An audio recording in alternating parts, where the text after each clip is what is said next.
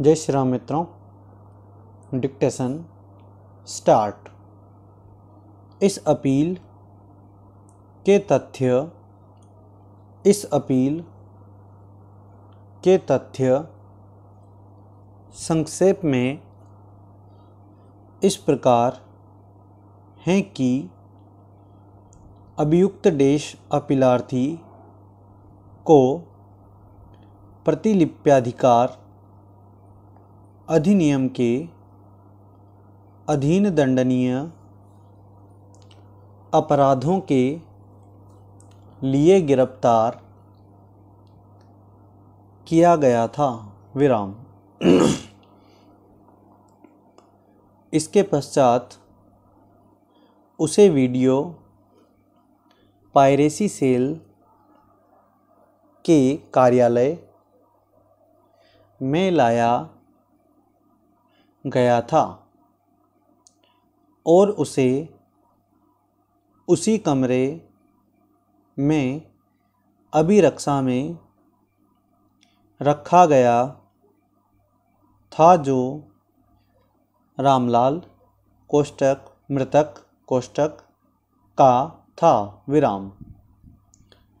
अपीलार्थी ने head constable कोष्टक, मृतक कोष्टक के सिर पर लोहे के स्टूल से हमला करके अभिरक्षा से निकल भागने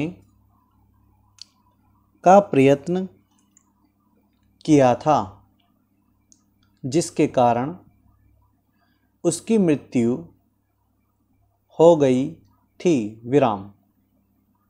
तथापि कौमा, बचकर भागने का प्रयास करते समय उसे पुलिस उप निरीक्षक और हेड कांस्टेबल द्वारा पकड़ लिया गया था। विराम।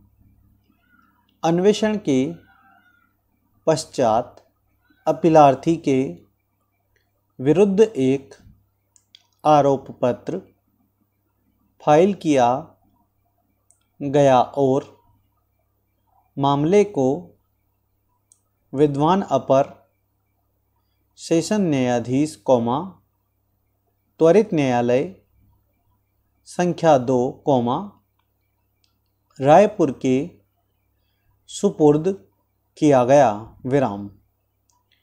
अपीलार्थी ने दोषी न होने का अभिवाक किया और विचारण किए जाने का दावा किया। विराम।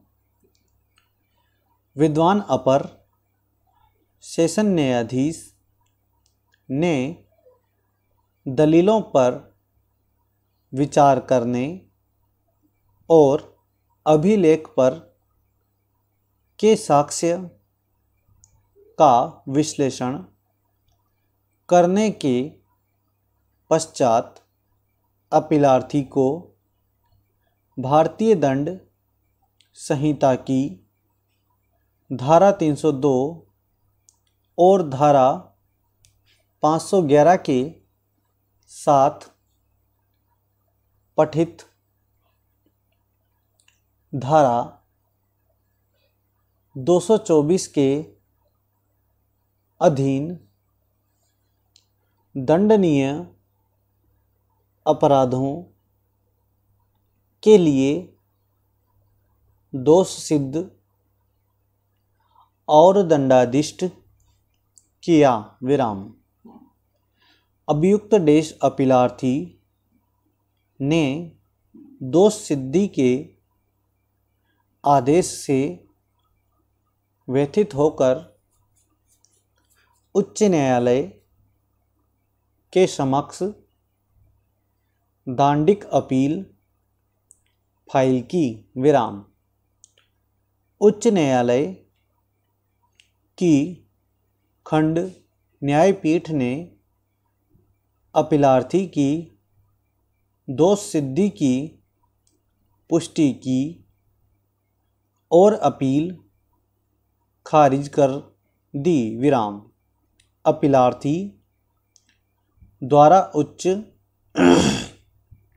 न्यायालय के निर्णय से व्यथित होकर उच्चतम न्यायालय में अपील फ़ाइल की गई विराम। पैराचिंज यह विवादग्रस्त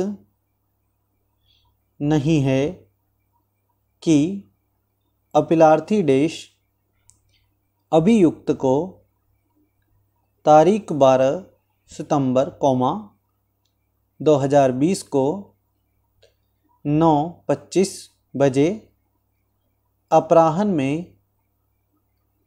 तत्कालीन पुलिस उप निरीक्षक कोष्टक अभिसा एक कोष्टक कौमा वीडियो पायरेसी सेल द्वारा गिरफ़्तार किया गया था और उस समय मृतक उसके साथ था। विराम। अभिसा एक के साक्ष्य से यह प्रकट होता है कि सुसंगत, समय पर मृतक के पास कोई निवास नहीं था, विराम।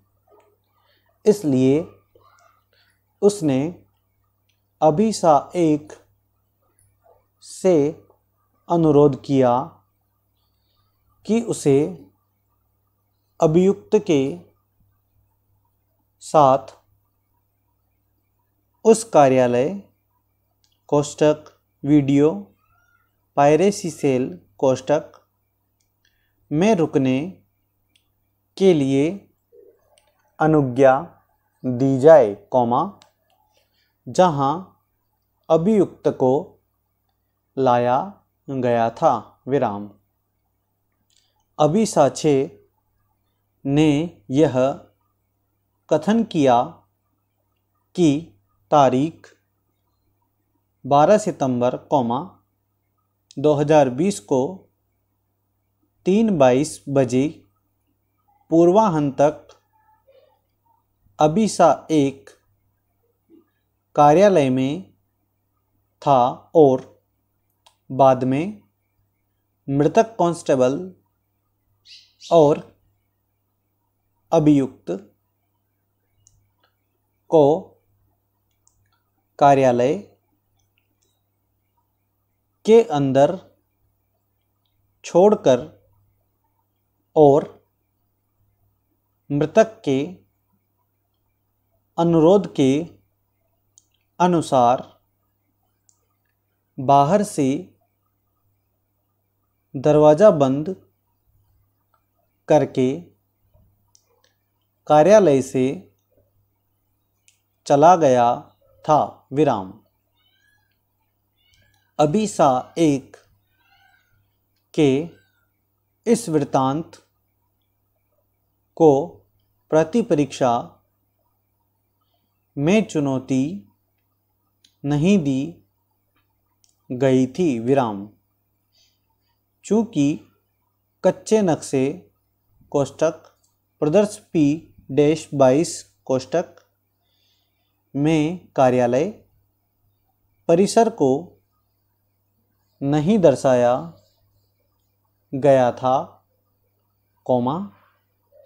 इसलिए अभी सा एक के साक्ष्य को भी प्रश्नगत किया गया। विराम। तथापि, कौमा, यह कुछ और नहीं, अपितु, अन्वेषक अधिकारी की ओर से की गई एक अनियमितता है विराम। उपरोक्त स्थिति को ध्यान में रखते हुए इस न्यायालय का यह मत है कि अभिसाक्ष्य के साक्ष्य पर संदेह नहीं किया जा सकता है। विराम। स्टॉप। धन्यवाद।